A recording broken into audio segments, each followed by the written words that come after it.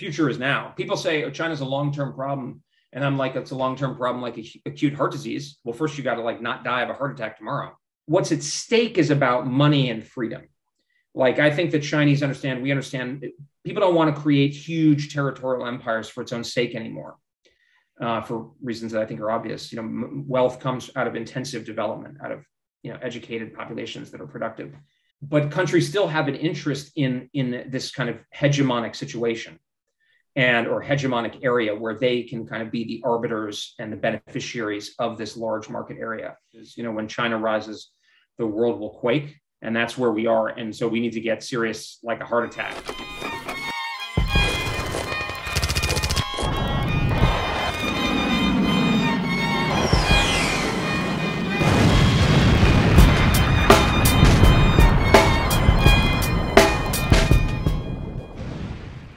Colby, good morning. Uh, really good to speak with you today. Good morning, Michael. Yeah, pleasure. Your book, The Strategy of Denial uh, American Defense in the Age of Great Power Conflict, uh, I've got it right here. Uh, exceptional book. Uh, congratulations. And I know you've been uh, busy explaining your thesis, and you've been gracious enough to, to, fit me in and explain what that is and what that means, not only in, in the grand strategic sense in, in America, but particularly for Canada as well. For those that don't know, I'm, I'm wondering if you you could briefly introduce yourself and uh, your your accomplished professional background. Sure, thanks, and it's a pleasure to speak with you, Michael, and also uh, you know to talk especially to uh, to our our friends in the North uh, Canadian Canadian audience because I think that'll be very very important for both of us. Yeah, my name's uh, Bridge Colby, uh, and I'm currently a principal at the Marathon Initiative. It's a small think tank focused on supporting kind of deep strategic work dealing with the uh, the, the, challenges of, of, great power competition. So things like my my book, my partners. There's uh, Wess Mitchell, who's probably familiar to many Canadians, who's the Assistant Secretary of State for Europe, uh, and I think I think Canada.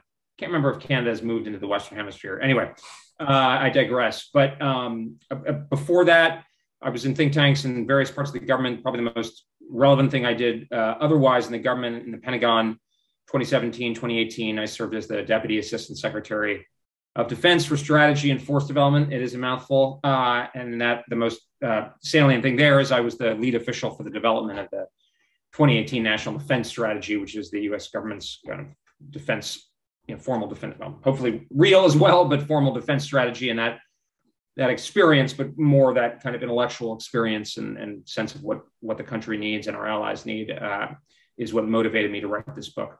And and on your book, obviously going through the military throughout the global war on terror, there was lots of hope, there was lots of aspirations, and and your book seems to ground uh, ground us back into reality. I'm wondering if you can really explain how you look at the world um, and and what makes makes up your your thoughts on on great power conflict and where we're going. Sure. No, thanks. I think ground is actually a good, uh, very good. Uh, I've, I've kind of been using a couple terms, but I think ground is is the a good sense because I think we became, uh, we in the United States and, in some ways, and, many of our allies, uh, perhaps Canada too, I, I, I, couldn't say, but we became kind of detached from the realities of international politics. Uh, and that was across um, both Democrat and, and, in some sense it reached its apogee or its nadir under the Bush administration after 9 11.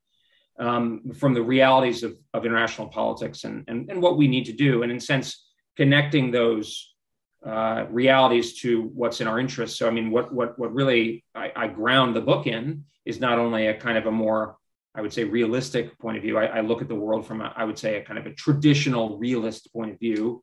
I don't have puts and takes on various scholarly debates necessarily, but just kind of looking at the world through that prism. Um, and grounding it in, in, what's in the interest of the American people. And I, I say that not in a, in a zero sum way, but in kind of enlightened self interest way. But that you know, in a republic or a, I would assume a, a you know a, a, parliamentary system, the purpose of the country's foreign policy should be to serve the interests of um, uh, of its people, and and that's where I kind of grounded. And I think that you know, ending tyranny in our time or the rules-based international order, all these kind of concepts, uh, which many of which are kind of ethereal, lost connection to that. And we are now in a world, you know, that that was a sort of a, an academic problem when the United States, along with its close allies, you know, I like the term, bestrode the world like a, a colossus, right? You know, it was was so much more powerful than anybody else. What's the worst that can happen? So we could make all manner of mistakes, and we did. Uh, but now that's not that's not the world in which we live. Uh, I like the, the quote attributed to Napoleon. Apparently, so does Xi Jinping, which is, you know, when China rises, the world will quake. And that's where we are. And so we need to get serious like a heart attack because, you know, that's the world in which we live now. And it's our, we, we, we actually have already passed through the chance to have a graceful transition. And now we're, we're in it.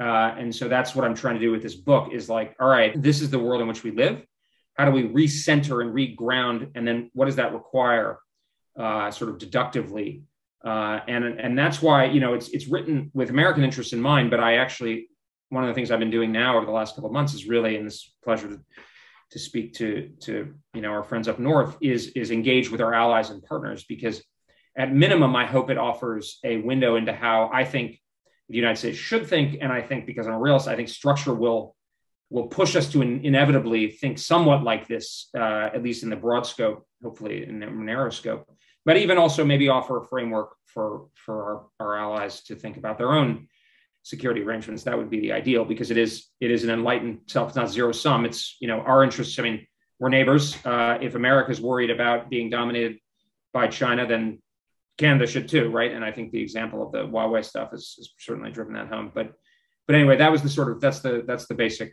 um, approach. What I really appreciate about the book is that you don't come out and over amplify anything. And you see a lot of even experts will come out and say, you know, America's suffering from imperial overstretch and and all these really grandiose concepts that America's, you know, America's going to end tomorrow is, is painful to listen to. And yet on the other side, um, you have a number saying that we can continue to do the same policy can carry on but you you come out really early and say america's still a great nation. There's a lot of things that we do right. We but we just need to have limits to power.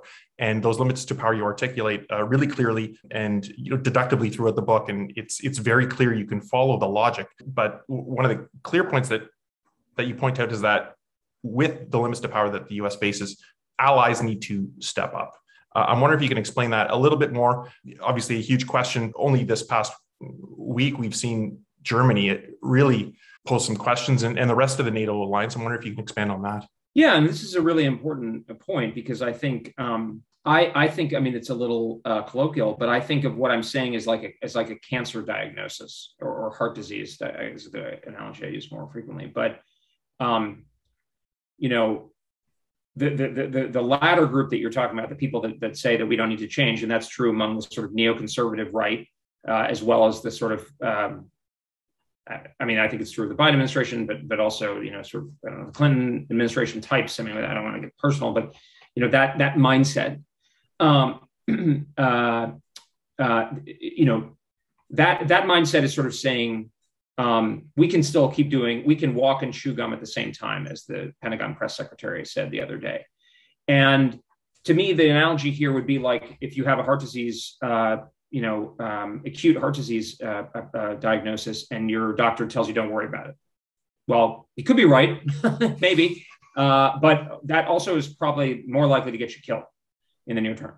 my my my medical my Hippocratic uh, approach is let's confront the problem, let's do it together, and then let's adapt. And that will be the best way to sustain our approach. And, you know, to kind of go back to the grounding point, there's been a lot of sort of romanticized uh, discussion of alliances in, in US politics very recently, partially in reaction to the Trump administration, although President Obama was also not a, a romantic about US alliances, if you recall. So there's, I think there's a, there's a kind of, um, an, a, a, real tension and probably a, a kind of a an acute tension between the way that, say, you know, President Biden talks about um, alliances sort of sacred and what's actually in Americans' interests. I mean, I was struck in the, and again, not to make it too contemporary, but but in the in the Pentagon's um, statement about additional troops to Europe, it was saying talking about the rules-based international order and the importance of protecting American allies. And I thought to myself, is there any attempt to connect those to Americans' concrete interests? And you can tell American there's a lot of skepticism uh, on both sides of the political, across the political spectrum, about additional American um, intervention or engagement. And I think this this sort of attempt to kind of pull the wool over our eyes is not going to help anyone. So my logic is okay. We have a problem in the world. We need to. There's more scarcity. It's more competitive strategic environment. Let's let's get really real. Let's get the facts out on the table, and then let's talk about it together and figure out what we can do together. And then when we do that, let's not have it be what I call the three musketeers approach, which is you know all for one, one for all, and act as if different allies have you know the same interests and same threat perceptions. But rather, I look at it kind of again through this realistic you know uh, lens, which is okay. Some countries are going to be more motivated to do certain, certain things than others, depending on where they are, depending on how rich they are, depending on their history. Okay, so let's try to array that model together and do it together. And it might involve some fundamental changes and might not. To the extent that we can keep things as they have been, that would be good because it's been correlated with you know success and peace and so forth. And so that's the logic in which which I'm taking it. And from that point of view, China in Asia must be the um, United States' overriding priority as a foreign policy goal, and particularly its military, because Asia is the world's most economic, most important economic region, and only becoming more so. And China is by far the most powerful other state in the international system. And the only way we're going to prevent China from dominating Asia, which you know, I can get into, but I think is, is a fairly modest assessment of what their goals are, is for us to lead an anti-hegemonic coalition in Asia. And again, getting back to that interest point, it's mostly going to be Asian states that are directly threatened: Japan, Australia, Taiwan, hopefully South Korea, India. And I mean, you can see that. You can see how much Japan has changed over the last 10 years. It's not because they like us more, it's because they feel more threatened. And so that's that's the, that's the reality. Now, if that's the case, though, and if we're dealing with a with a country that now, by some measures, is already a larger economy than ours, that creates scarcity elsewhere. And so we have to reckon with that. And in my view, we're going to have to reduce our efforts substantially, very substantially, not only in the Middle East but also in Europe. And that's going to create a vacuum.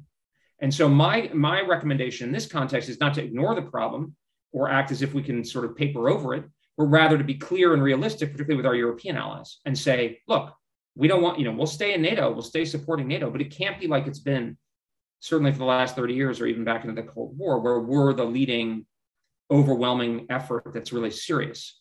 And instead, let's work together and the US can take a different approach towards NATO and say, you know, we can support you, we'll, we'll, you know, we'll sub, we'll support your defense industry, we'll give you more political discretion. And so this to me is the, is the way forward. And I think, you know, I had a conversation with some French experts the other day, and, and to me, there's a natural alignment with I, I, think what the French are trying. President Macron has a way of talking about it that I think is uh, poisonous to the to this, but it, but it, but it's a much different approach than like Germany, and I think Germany is the key problematic actor. I mean, just to just to be briefly, I think to bring it to the Canadian context, to me, I Canada is one of the countries where I'm not exactly I don't have a clear view, and again, I don't presume to say what Canada must hey, do. Ottawa, Ottawa doesn't either. Okay. Well, I think I think it's not clear to me where Canada should should put the weight of its effort. So, I mean, I think clearly Canada has a, a tremendously distinguished tradition of you know contributing to collective defense. I mean, much more proud than than our own, right? I mean, we didn't come into World War One until 1917, and we didn't come into World War II until the Japanese attacked us two years after the start of the conflict. Not true for Canada. So so I always I always uh, I always get embarrassed when people you know kind of uh, uh, toot our own horn too much.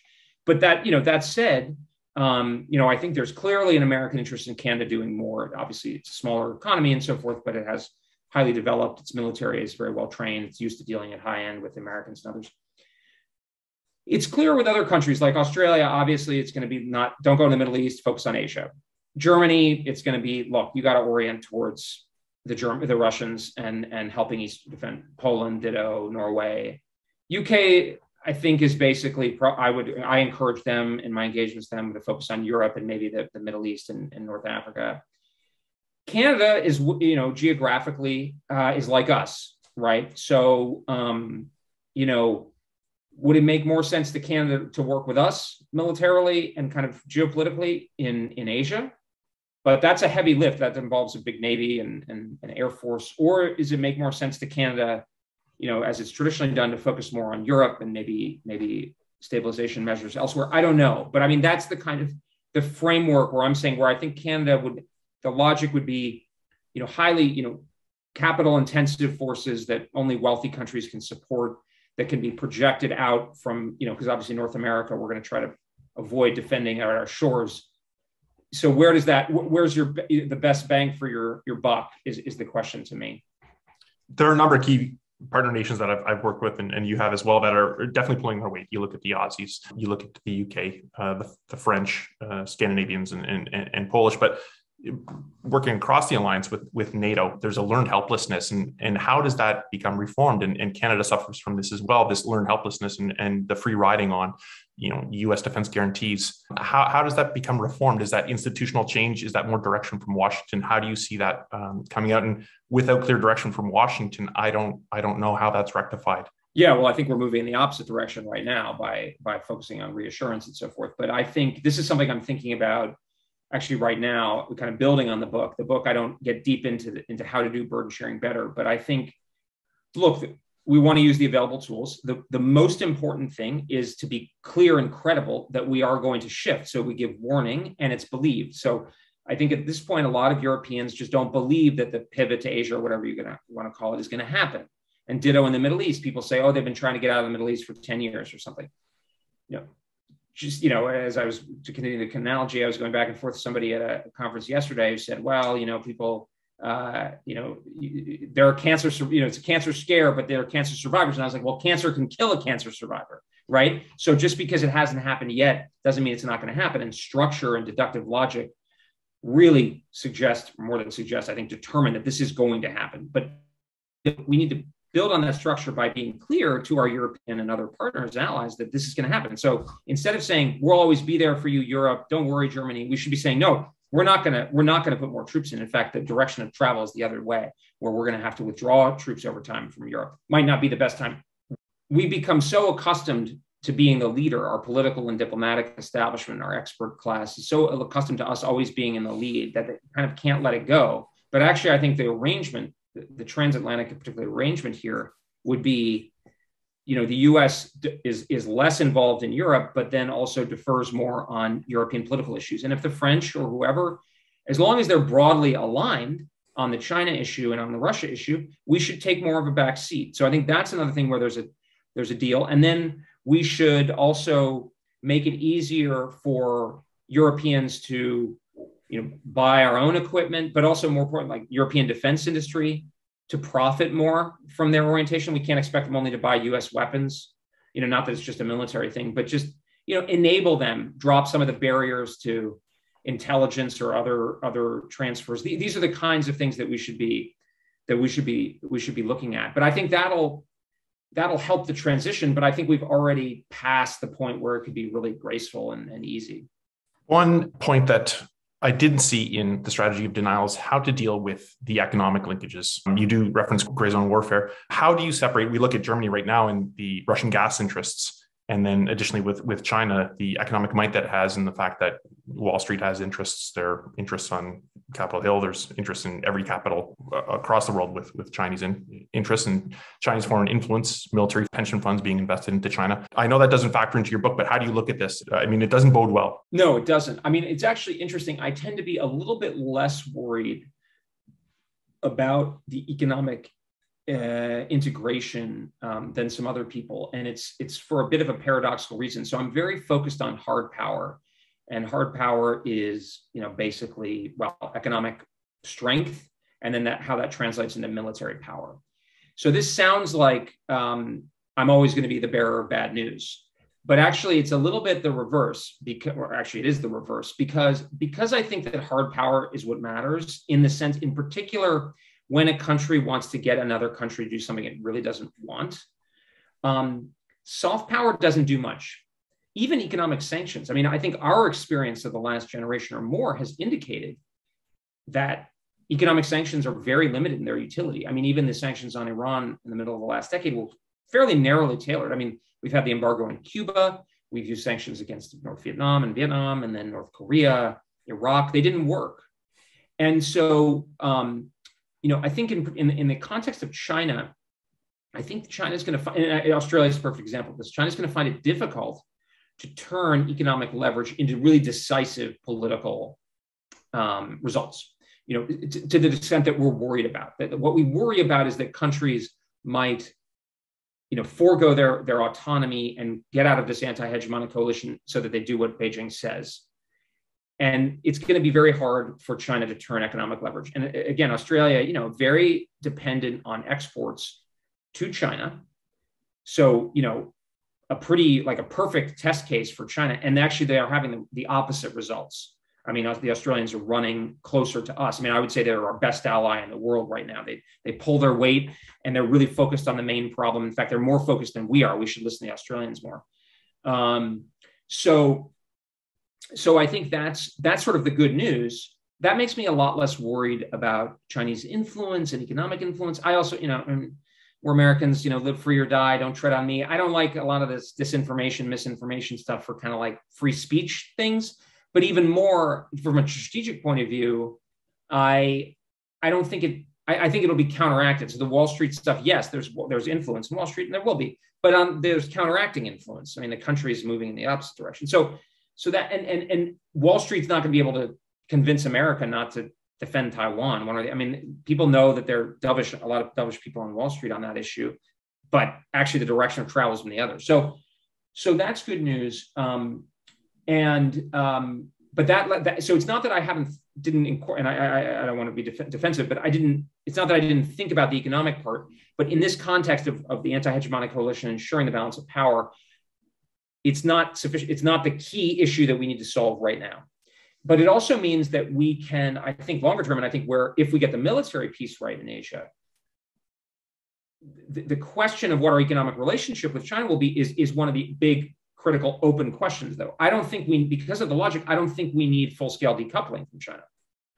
I, I, think we can have heavy trade with China, you know, for because of this reason. Also, but there's a lot of money to be made in China. I, I'm skeptical of those who say that China is about to fall apart, but we are going to need to be very selective about, well, not be very selective, I should say. We need to identify the areas or the degree of exposure that we can't afford and that our allies can't afford. And that's a relative context.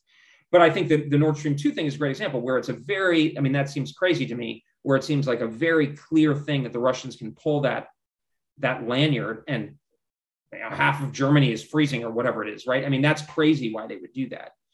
That kind of leverage we don't want to give the Chinese. But where that is in, in, in between those two extremes, um, I don't I don't exactly know. I mean, I mean, you know the, the Canadian example with with Huawei, and I mean, I assume this is kind of you know going to come into the the Canadian conversation as well. But I think for us in Canada, probably you know being neighbors, I'm not as I think we need to onshore you know semiconductors in, support industrial policy at home and, and, in North America to make sure that we have scale.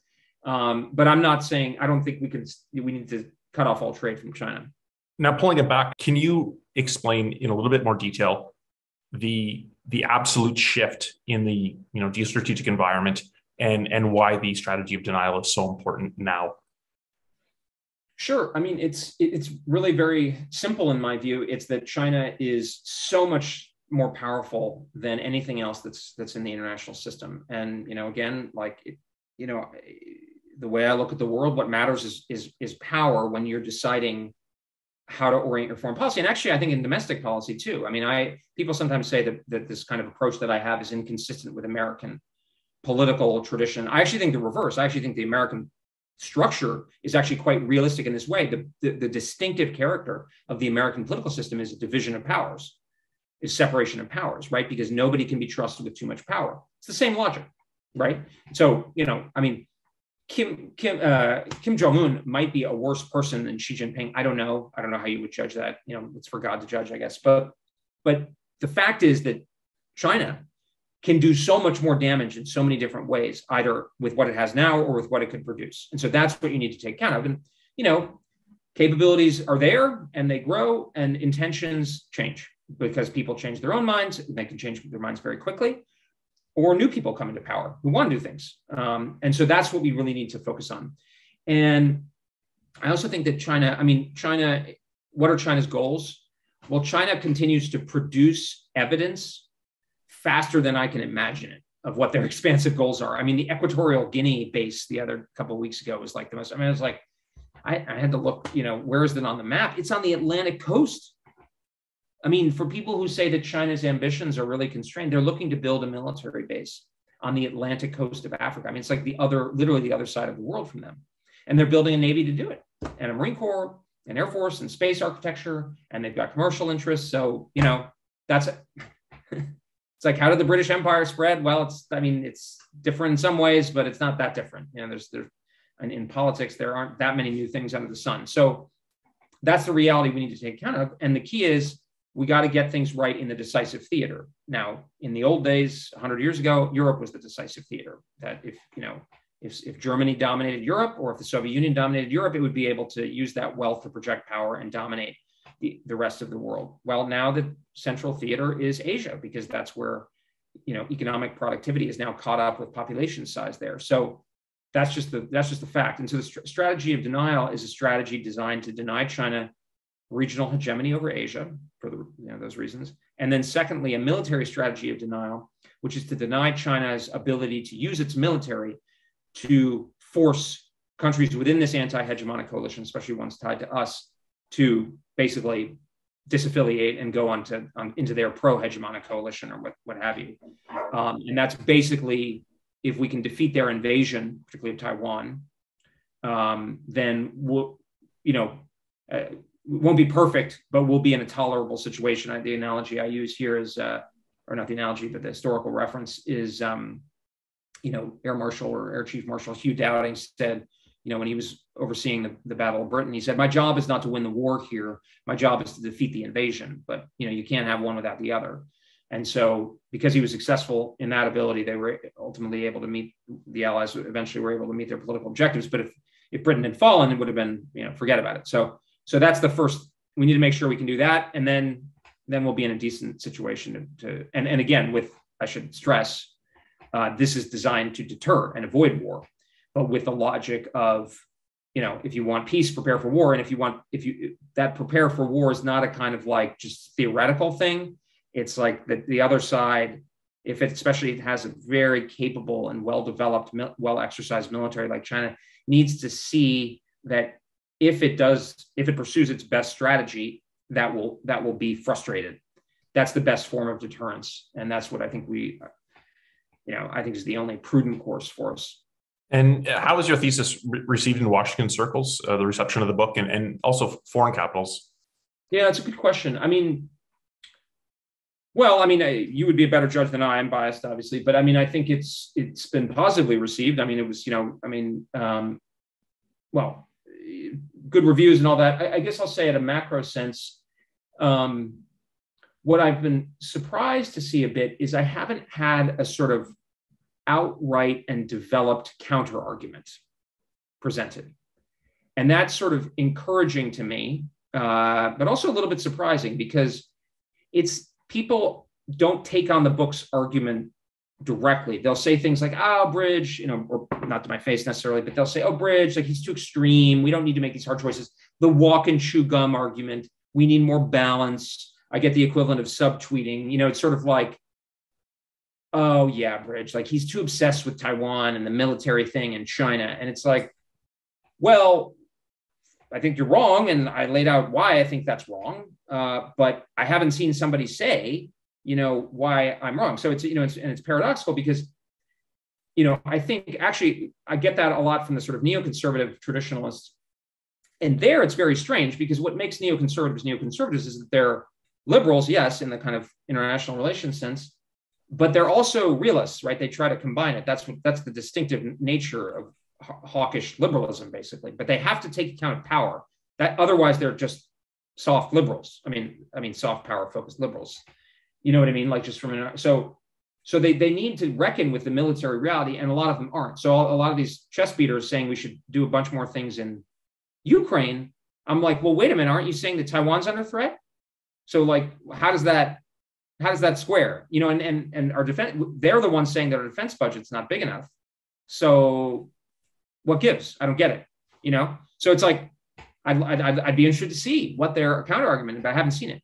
And then the other one, the, the other kind of implicit counter argument is that basically that I think what to go to your question is that hard power is not so central, and that because and that basically in practical terms means that they don't think that China's going to invade Taiwan or after that the Philippines or Vietnam that that's not going to happen. And again, I haven't seen that argument fully explicated because it sure looks like they're getting ready to invade Taiwan. I mean, the Chinese ambassador to the United States literally gave an interview to NPR and was like, stop meddling or we might invade Taiwan. You know what I mean? Like that's like basically the message. So that's been interesting, but it's sort of, I mean, it's, I guess it's gratifying, but it's also incredibly frustrating because we still are acting in the same bad way. We're still smoking cigarettes when we got a lung cancer diagnosis. You know, we're out there like sun tanning on the, or whatever those, those beds are when we have this, when we have melanoma. And I'm like, what are we doing? Right. So that's that's been um, you know foreign capitals actually I would say you know I, I was talking kind of making this point to the, the the ambassador of a large European country in Washington. I made the point pretty directly, and at the end I kind of was like, you know. Um, by the way, I'm sorry. I don't. I don't mean to be rude. I just, you know, my view is like it's better to be frank and get it. And, and this person was like, "No, this is great. Like this is. I can reckon with that. I understand what you're saying." and I actually you know the French. I think I mentioned to you a French event I had on Monday uh, earlier uh, on the 31st of January. Same thing. It was like, whoa, interesting. But oh, okay, I, I, see. You know, I can kind of grapple with that. I'm not saying that they're agreeing with everything I say, but there's a. I think, a, and this is what I want: is there's like a coherence, a logic, a framework, and then let's argue about the puts and takes. And you know for instance the a lot of the french are like well no we do have interests in the pacific. Don't don't try to com- confine us to, to europe. And it's like all right well i mean that that's a good argument to be having yeah. um, within this overall context. So so that encourages me. But the, the, the problem michael is that we just don't have any time we just don't have time. We should have been having this kind of discussion five ten years ago. And you know it's all going to kind of be for naught if we are fried in Asia, um, and I, I, worry that that's where we're heading. It's it's interesting that you bring that up. Um, it seemed like a lack of imagination and not worst case scenario, but realistic scenarios. And Admiral Stavridis' book 2034, uh, exceptional sort of uh, conceptual fictional account of what's to come. And after writing it, I think he wrote it pre-pandemic, and a year later he was interviewed and he said the only thing I got wrong was the date. Date, yeah, I haven't read it, but that's my impression. I mean Chinese attacks on ships in the South China Sea could happen like tomorrow. You know, so I think that's the future is now. People say oh, China's a long term problem, and I'm like, it's a long term problem like acute heart disease. Well, first you got to like not die of a heart attack tomorrow. Then you can worry about your diet and your you know your weight or whatever. But we're in it. We're in the window.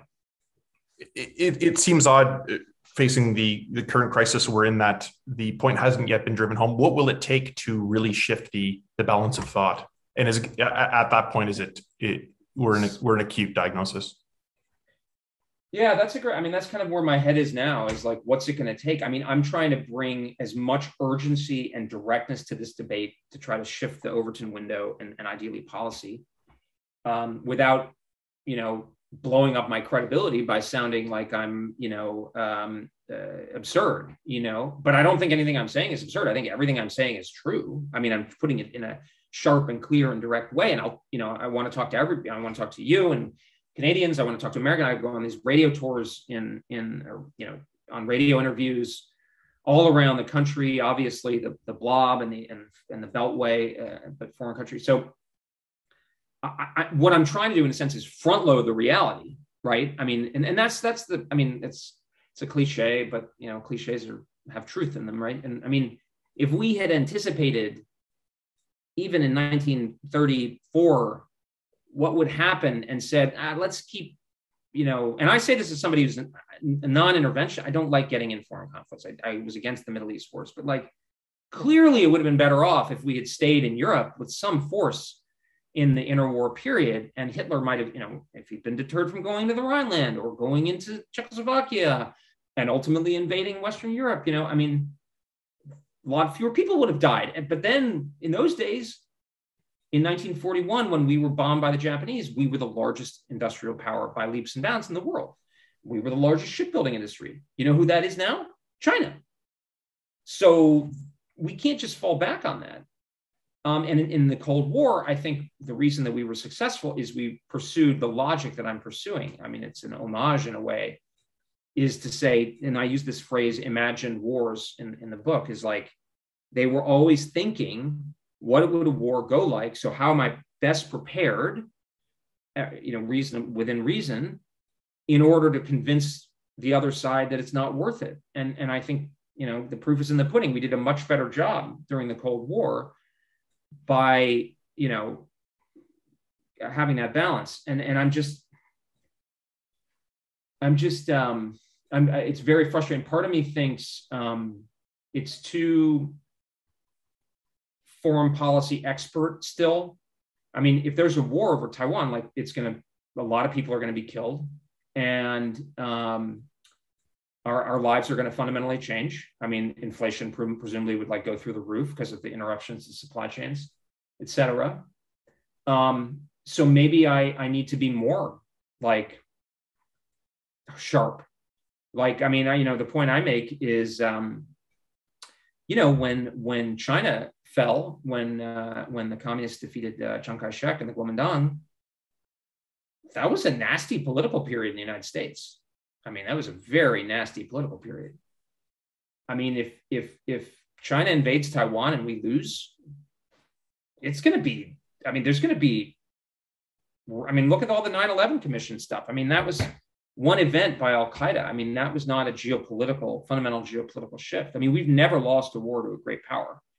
Um, and you know, we we we decided to give up in Vietnam and Afghanistan and all that. I mean, I'm not being defensive about it; it's just a you know reality. I, I think you know I'm, I, I think people should be really worried. I think if you've been out saying, "Oh yeah, we can walk and chew gum at the same time, or we can go into Ukraine and we can keep going in the Middle East, and we have, and, and we lose in, in, in Asia," you're going to be in. There's going to be a lot of scrutiny, and there should be. But I, I, I don't know. I, but at the same time, I don't want to like. I don't think it's constructive or right to get you know ad hominem or you know defam. Obviously, defamatory you know would never do that. But but I don't know. That's what I'm trying to what I'm trying to use every lever I can think of. And, and is this more outreach to to the rank and file in the military, or is this a broad outreach across across society? There's there's uh, every Western nation faces it in that the, yeah. the, military and the foreign policy class are just completely separated from the, the, just absolute peaceful existence really since the Second World War. I mean, yes, Vietnam, right. but um, it's been a long time. Yeah, yeah, I mean, in the U.S. it's a little bit different, but even the the, Amer- the military is becoming almost like a separate caste. You could even say. I mean, in the sense that it's almost literally substantially hereditary at this point. Um, and they live on base, you know, often, and they're cycle through. And so, I mean, I think your point even holds here. Um, but um, I mean, I think uh, yes, I'm speaking the military, although more, it's very important audience, but more with the goal of trying to uh, catalyze reform within the military to get, because it's like a multi vector thing.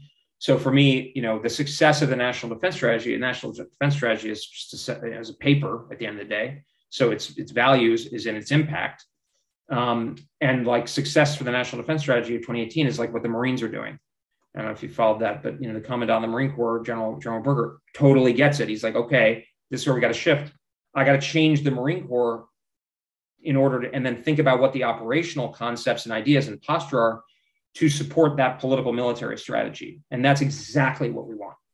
I don't, you know, it, is every decision that General Berger is making the right one? I, I, don't, I would not presume to say, but you know, I'm probably he's probably not. But I mean, p- part of it, part of this is is an iterative and ongoing development process. But it's like you want your you want the military to be figuring because I mean you can get your grand strategy right, but if you don't get the military strategy right, it's not the you know I mean and I like to use historical examples, but like um, well, I mean, the British did go in force, uh, unlike in 1914 and 1940, but the military strategy failed, right? I mean, the Germans went through the Ardennes and they defeated it. Or in 1914, the British got the grand strategy right. I mean, people who say that countries can't make tough choices or focus, Britain resolved. I mean, you know, there was a war plan, American British war plans across the Canadian border until like the you know 20s or 30s or something like that. But Britain, I mean, that was a little later, but Britain resolved serious rivalries with the United States, where almost fought a war in the 1880s. Obviously, we'd fought a number of wars before that, almost fought a war in 1840s. Japan over disputes in the Pacific, France, of course, the hereditary enemy, and Russia, the great game. Britain resolved all of those to focus on Germany.